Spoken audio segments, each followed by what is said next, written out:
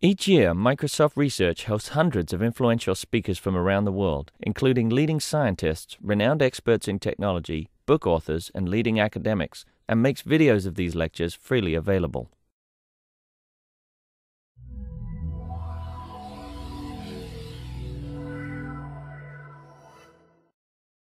Hello, everyone. Um, I and my colleagues Kevin and James spent uh, about two, two and a half years working on doing some reproduction. And so that's what I'm going to show you, our replication of uh, prior studies, which is what I'm going to show you today. Kevin is right back there with the uh, long braid. And so our, our domain of research is open source software. Um, this is an interdisciplinary research community. I assume everyone in this room knows what open source software is. Okay, good. Um, so the typical right. So the typical research topics in this area, um, they really range. Some are, far more technical in the software engineering world, and some are far more social. And we're looking much more at the social aspects like uh, communication patterns, um, coordination, collaboration, things like that.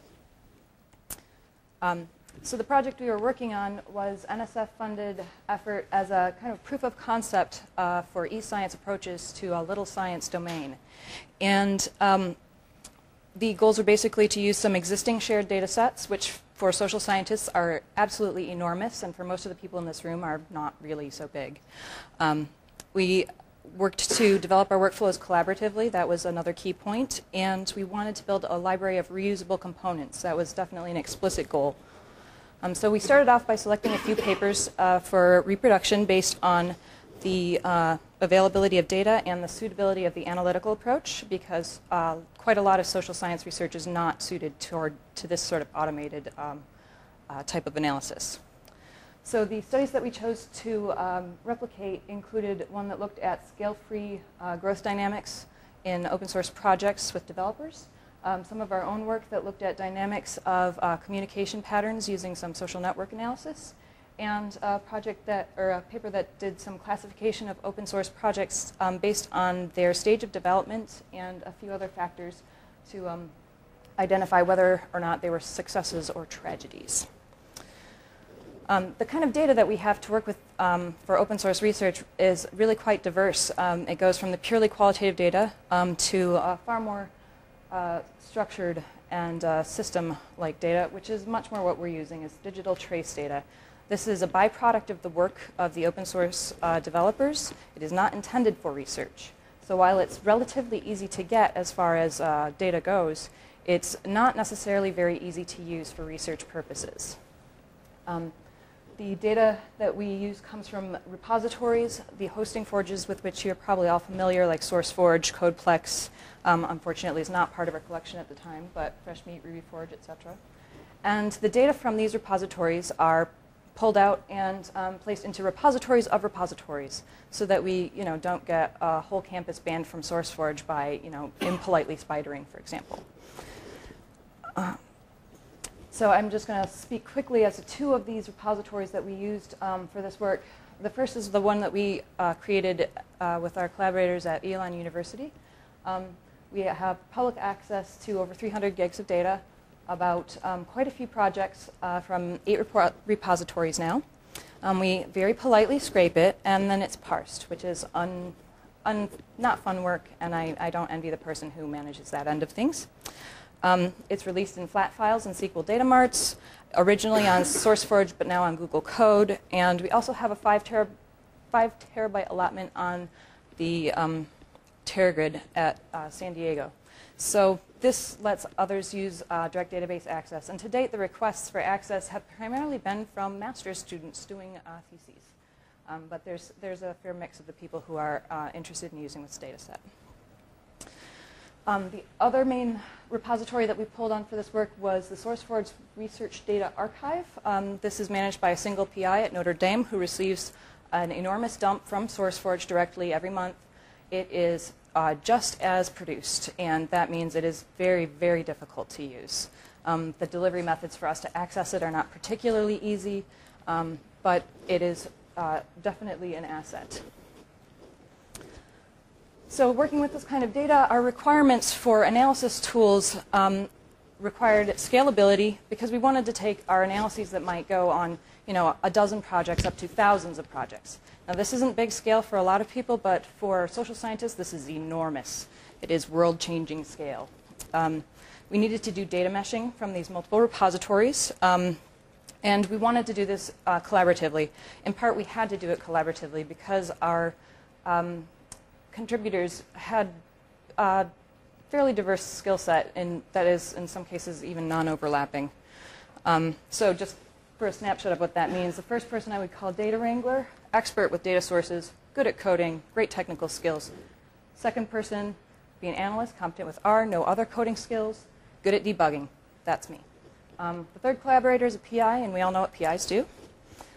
Um, so we, we, chose to use Taverna. Um, there were a number of reasons to go with Taverna. I think the most compelling reasons were flexibility and um, the really responsive MyGrid team and the supportive community. Um, from studying open source, uh, we know that that's one of those signals of health to look for, is that there's a lively community and that the people contributing to the project are um, supporting users even when they ask stupid questions.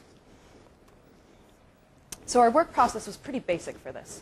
We started off by evaluating the data, the methods, um, the analysis, the findings, and then we moved from that to um, developing an abstract workflow together, um, focusing on functionality.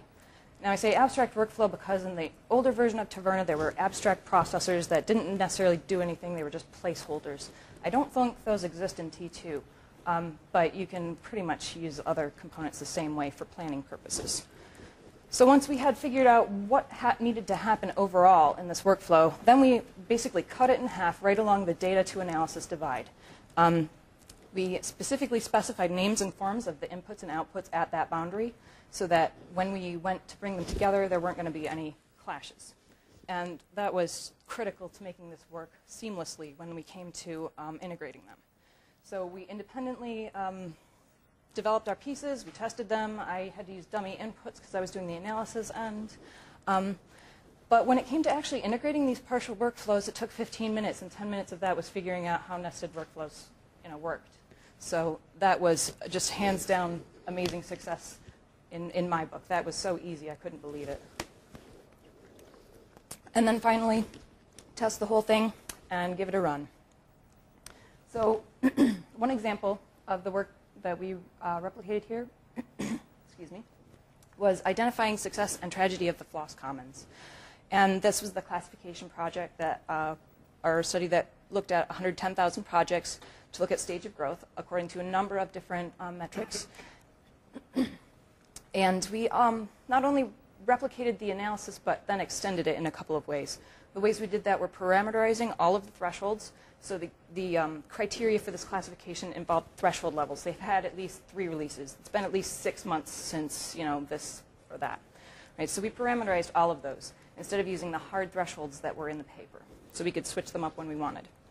Um, we also tested some, some additional variations on criterion tests. So not just changing what the constants were, but wholly changing the approach to that particular criterion. And this is what we came up with. This is not pretty but it is beautifully functional. So this section up here, all of this in this big light aqua box, I don't know if that color comes through for you, this is all data retrieval and data handling, all of it. The analysis is all right down here. So basically what happens after the data got pulled out, it went into some of these criterion tests, which fed into a classifier. The classifier used a classic truth table to go through and um, verify whether or not the project fit the requirements for classification. And an interesting aspect of implementing it this way is that the truth table actually uh, revealed to us that the original author either did not report or did not consider some of the potential cases, um, which were due to like negative uh, cases, for example. So the key strategies that made this work for us is that we really worked to make this transparent and to keep uh, all of the pieces that we were building modular because we did a lot of um, BeanShell and RShell components that would um, allow the flexible custom processing we needed. Um, metadata and code comments are critical. And we all know you need code comments for good software. You need them for good research as well. Um, and then we also specifically designed these pieces for reuse, um, particularly the data handling pieces and the quote-unquote shims. Which do all these small transformations. Um, for example, they switch between epoch date format to um, SQL date format, format, and then back again. Um, had to be done in one of the analyses that I've run because I could only get the dates from one data source in one format. I had to change it to epoch in order to do mathematics on it, and then change it back to SQL so that I could then query with it. So a little bit roundabout, but having those pieces built once, they can be used many times. We also um, assign the right tasks to the right people. Um, the person who can only uh, code in R should not be doing data handling, for example. Um, and I would note that since then I have learned some Java. Um, some important details about how we made this work. In addition, we're using Subversion for version man management. Anytime you've got collaborators working on something like this, you need to do some, some version management. And if, if we were starting this today, there's no way I would use Subversion. Um, myExperiment can handle this much, much better. At the time that we were doing this, um, the sharing permissions and privacy permissions weren't in a state where we could put unfinished work and share it among collaborators. Um, very shortly after we basically got the stuff running, they implemented it in what I would consider the perfect way for the way I would want to use it. So I, you know, hats off to the myExperiment team. That was just lovely.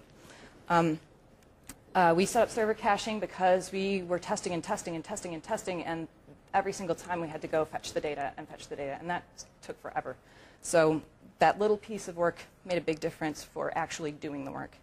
Um, and then there was a big piece of work that made a big difference, and that was creating an OWL ontology to map between the two repository data sources. Um, this is really non-trivial, and had it been solely for this project, I don't know that it could have gotten done. However, it was also um, part of James's dissertation work, so there was further imperative for that to happen. Um, and in order to extend the analyses, we not only implemented some of the author's suggestions for future work, which is very interesting because it immediately showed us in about 10 minutes that what they hypothesized doing as an alternate totally changed the results of the classification. Everything that was one, one form became indefinite. So we also implemented our own variations um, using some different um, methods of examining those criteria, and I found it really remarkably easy to add and modify these pieces. Once we built the rest of the structure, it was just swap this piece out for that one or add another one here. So that was, that was really great. We were able to run analyses on much larger data sets than the original author uh, studies did, and that's partly passage of time. So a paper that was um, produced in 2004 didn't have the data through 2007. Um, in terms of reuse, this was a major goal for us, and I think probably the most successful for our own work. Um, we specifically designed for reuse. Anything that was for sampling or data handling had no constants, only parameters. I broke that rule once and paid for it um, because I found after presenting the paper at a, at a conference that uh, we'd forgotten to change one of these date-based parameters from you know 14 days to X days. So I was much upset with myself for having missed it that one time, but it shows you how important that had become as a part of the way we were doing this. Um, we spent a lot of effort on the data handling, um, but it really paid off because all of those components that we, that we built and all the sub-workflows that look real messy in that prior workflow, we just dropped them into another one now. And that, that really makes a huge difference in terms of the time to results for any subsequent um, data analysis we want to do from these data sources. Um, and it moves the challenge from dealing with data to research, which is where I think it ought to be. Um, there are a few challenges with work, using the workflows. Um, initially, software usability uh, was a real bugbear. Some of the bugs just really wreaked havoc with what we were trying to do. Um, I have to give great credit to the MyGrid team. The usability is constantly improving. Um, T2 is miles ahead of T1. And um, you know, I, have been really thrilled with the direction of that. And in fact, they, they brought me to Manchester for a couple of weeks over the summer so I could tell them exactly what was uh, going wrong with some of the usability. So they're really open to um, that feedback, and that was wonderful. Um, data handling, no matter how challenging we expected it to be, it was always harder. So that's, that's a caveat with the data handling. This is a case where building wants to retrieve data from a data source is uh, fabulously useful. So you sink in, you know, 40 hours for one repository, but then, you know, you save yourself 40 hours every other time that you go and, and do the same kind of data source. So um, we also had no existing web services or appropriate examples to emulate. Um, for us, web services weren't a very feasible option. We didn't have the infrastructure resources to support them, very limited potential user market. So it's kind of you know, negotiable whether or not that would actually be worth the time and effort for us. And when it came to looking for examples, pretty much all the examples are bioscience oriented or so general that it didn't really you know, help me figure out what I needed to do. Um, there were no real social science examples, but there are now.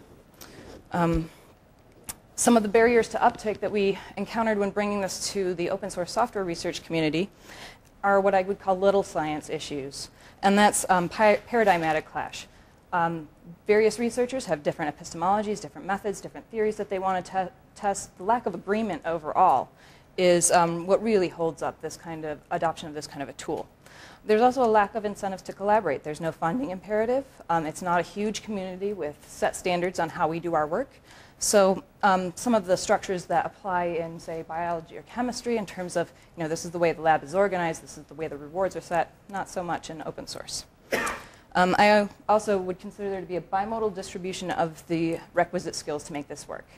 Many social scientists cannot code, and anything um, to do with R, to do with Java, scares the pants off of them. Um, and then on the other end of the scale, many of the people who are doing uh, research into open source software are software engineers, and they don't see any point in using the same tools as anyone else. And will happily tell me that I should use Python as well, which becomes very insulting by the third, fourth, fifth, sixth, twentieth time you've heard it. Um, but overall, I found that students are far more willing to experiment with these tools and approaches. Um, sitting down with a couple of uh, students at doctoral consortia uh, over the summer, I think I you know, got some believers out of that. And, and so you know, they're looking at using it for their own dissertation work, which is great. Um, and just to show you that it was not all for naught, um, we've continued using the tool for our own work and repurposing some of those elements that we built. So this is just a quick example of some research, re recent research that we did, which is an um, estimation of the user base and potential user interest, the size of these um, uh, populations based on common release and download patterns that we observed in community-style open source projects. Um, downloads, uh, in particular, are a proxy for user interest and uh, common or for project success because people assume if they downloaded it then people are interested, that's successful.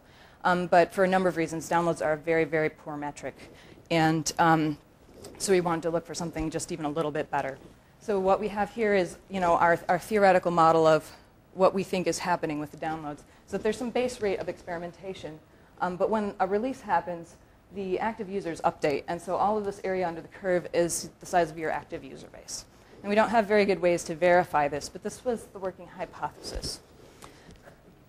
So, and this is, and this is why we thought this would work really well. So a quote unquote normal download release pattern for BibDesk, which is reference management software, um, shows that every single time you have one of these kind of pink red verticals, which is a uh, release of the software, you have a spike in downloads at the same time.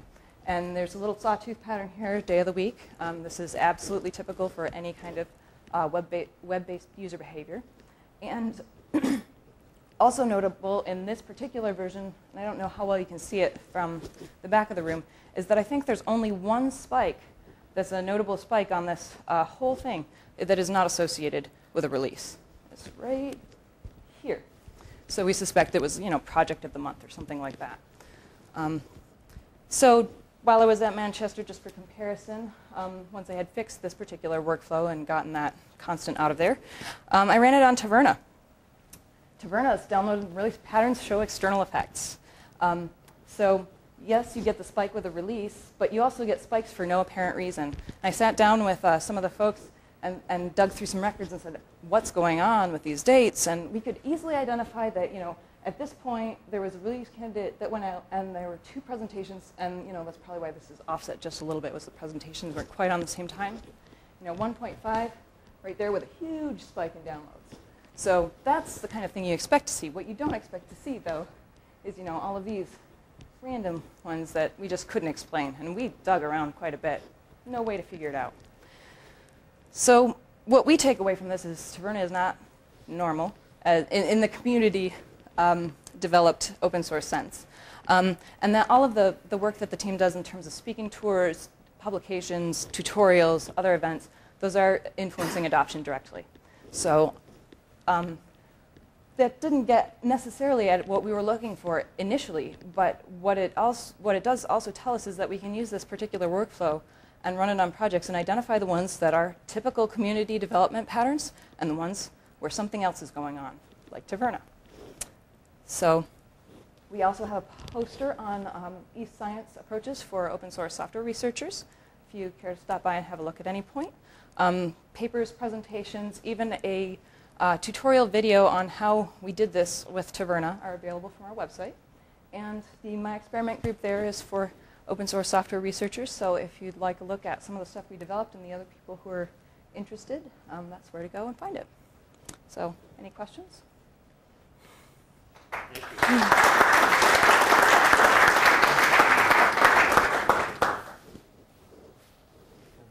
Anybody? Um, I, I have one. yes. Okay. Um, so the metrics for, um, success of a, a community open source project, do you have any insight from that besides downloads, which is the typical measure? Well, the main constraint that we face is that we're using the data that we can get from repositories. This is not insider data. We don't have um, anything to corroborate except what we can get. So, from a business perspective, you know, one would use weblogs and things like that um, to, to validate some of these things. But um, in the open source world, we've got what, you know, what's in the re- repository. So people look at things like, you know, time between releases, um, how recently the last release was made, how regular releases are, um, how long it's been going, how many contributors, how many downloads, um, and not just cumulative downloads, but you know, rate of downloads over time, whether it's increasing or decreasing. My general sense is that it's really hard to tell much, especially when you're throwing a wad of spaghetti at the wall, basically, because there are so many different indicators that they're testing and trying out that it's really hard to identify whether any one of them was really contributing um, overall in terms of evaluation. But um, a hypothesis that came out of some other data analysis that's not shown here that we're trying to follow up on is um, the usage of inclusive pronouns by non-core members of the group. So in other words, if, if your core members say, our project, we should do this, that's expected. But if your non-core members also say, our project, what are we going to do, as opposed to saying, your project, and what are you going to do, then that's a good sign. 'cause it means you've got this group of people who are taking ownership and are potentially going to move in. So that's a hypothesis. I offer it for what it's worth. Um, but the point about doing things using this approach is that we can um, put together the analysis for one project and then replicate it across. Um, well, actually, we need some NLP technology which we're building, but uh, having built the NLP technology, build the database up, we can then test that hypothesis on a few thousand projects. And so that's basically the next project that we're work on. But I would be curious, those of you who actually manage open source projects, whether you've observed that phenomenon, whether there's any uh, sort of basic validity to the hypothesis. But you can tell me some of it. Was there any correlation between the number of people working on projects and then other success factors such as downloads or multiple releases or things like that? I have to say I can't recall because it's been a, quite a while since I looked at the raw data from that particular bit of um, work.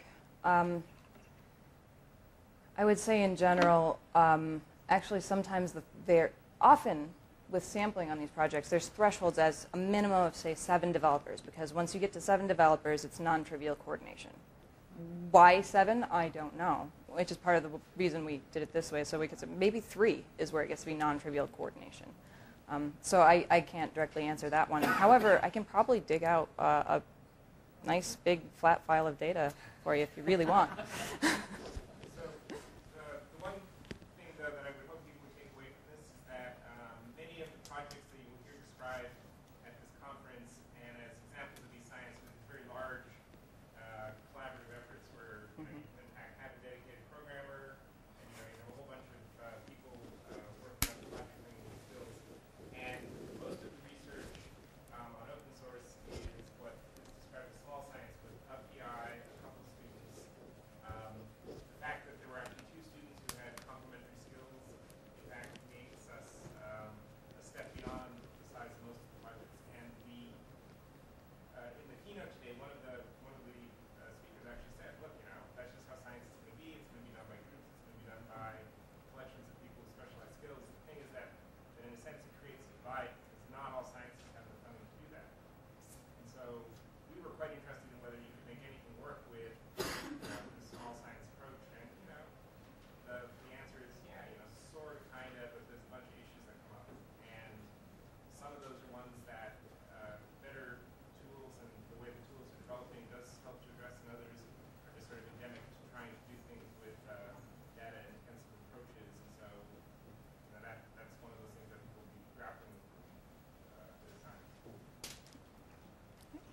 Well, thank you all.